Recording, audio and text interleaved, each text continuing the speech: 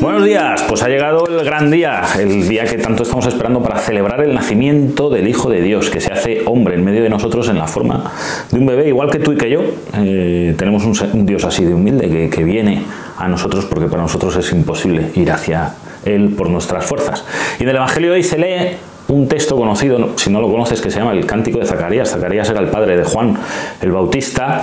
y entonces en un momento dado eh, hace un, himno precioso, una alabanza preciosa que, dice aquello de que ha venido a liberarnos, ha nacido la salvación, estaba predicho por antiguo, por boca de todos los profetas ha venido a redimir a su pueblo, en fin, bueno, si lo leéis aquí abajo os va a encantar porque yo de memoria no me lo sé.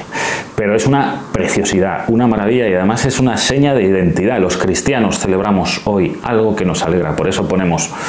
luces, por eso ponemos adornos, por eso nos damos regalos, por eso nos vestimos bien y hacemos una cena en condiciones como Dios manda, para celebrar el mayor cumpleaños del mundo.